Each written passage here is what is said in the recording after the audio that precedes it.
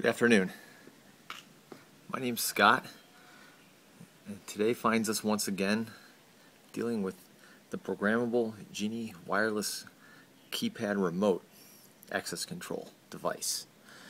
Now, the last time that I had to deal with this thing right here was because I, I couldn't figure out how to code it, and so I worked it through, and we figured out how to how to code it. Now, today, the problem is this weather protection hood, which is so very, very vital to the success of this keypad. Now, it has a tendency to work its way off. Let me show you what I mean. So first of all, let me show you how to put it back on. So there's these two little, those two little uh, hinge doohickeys. There's one there you can see, and then there's one right there those have to go into those holes right there. One on each side, as you can see. Now, the problem is that when I put it on,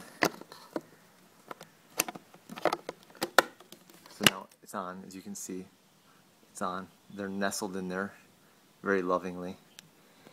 But the problem is, is that as it operates, it just it just uh, it just comes right off.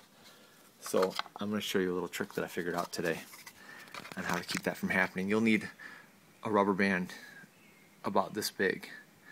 I'd say that it's probably about no bigger than my eye. My eyeball, it would wrap around my eyeball, I bet. I'm not going to take my eyeball out to show you though. That's another video. What I'm going to do is I'm going to show you, I think, if I can. Let me turn the camera around and hopefully I can get the camera on this. Can you see? So there you see the keypad, and there you see. Oh, I should have used a wide angle lens for this, should I not have? Oh, there we go. Now you can see. Okay. So uh-oh, here comes somebody to complain about his little sister. I know he's going to do it. He's going to ruin my video. I just, oh, no, it's the little sister. All right, so take this rubber band and put it on there like that. What are you doing? I'm making a video. So now you can see the rubber band is on there like this.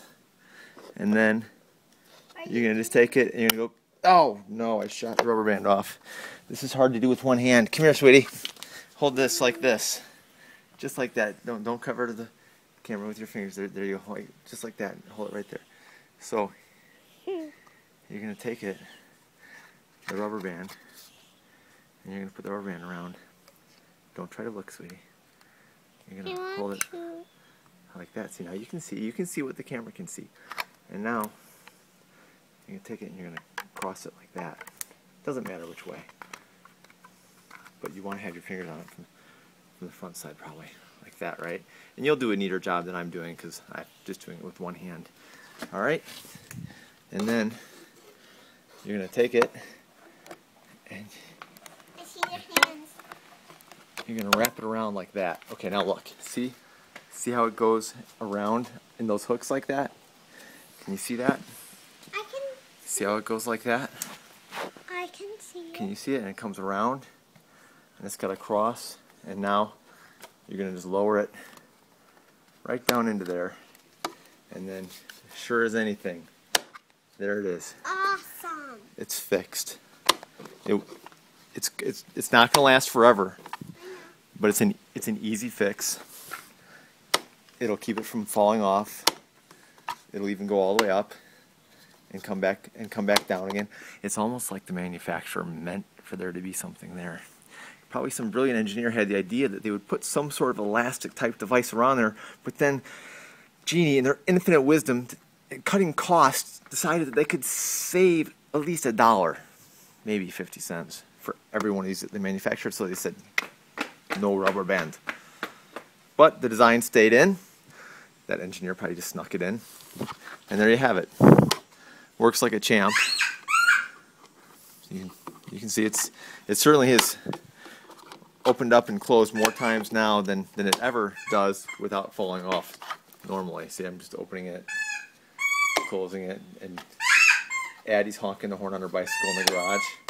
All right, very good. Now I'm going to enter my code, and I'm going to close the door, but not before my daughter comes out of the garage.